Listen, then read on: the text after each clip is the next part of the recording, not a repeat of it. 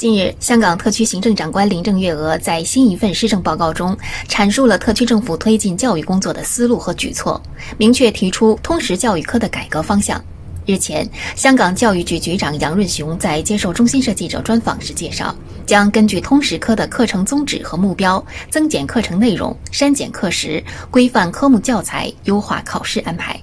对这个课程的内容，我们。会定下来比较明确的，呃，规范的，而且对这些不同的概念，我们也很清晰的定下来，会有一些课本、书本给呃学校用，呃，这个我们根据我们现在的季度去审批这些教材。现在我们是一到五级的这个计分的方法，将来我们只是。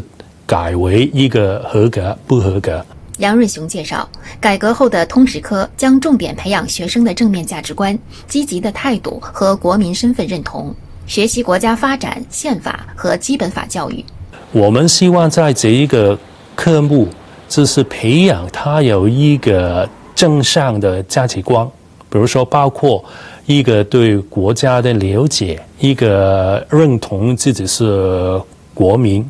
所以我们在课程内，我们会加强对呃国家发展、宪法、基本法等等这些内容，希望我们的学生透过这一课，能培养他们对我们国家的发展有一个呃正确的了解。据了解，在2019年的修例风波中，超过一万名因反修例而涉嫌违法的被捕人士中，有四成是学生，其中接近两千名是中小学生。对此，杨润雄表示，教育局已要求学校为每一位被拘捕学生制定专门辅导计划，希望在未来一两年中可以改变这些学生的错误观念。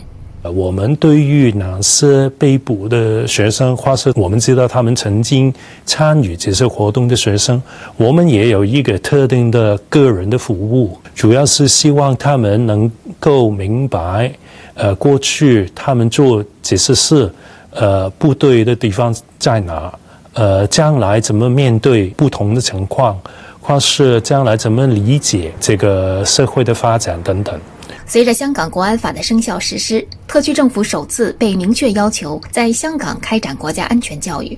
杨润雄介绍，目前教育局正从教学内容和学校管理两方面着手，希望通过将国安知识与教学中的各科目进行整合，以及为教师提供相关培训等方式，更好地落实香港校园中的国安教育。在七月的时候，已经给学校中小学发了一个指引，他们应该让他们的老师、他们的学生知道有这个法律，他们应该是遵守这个法律的。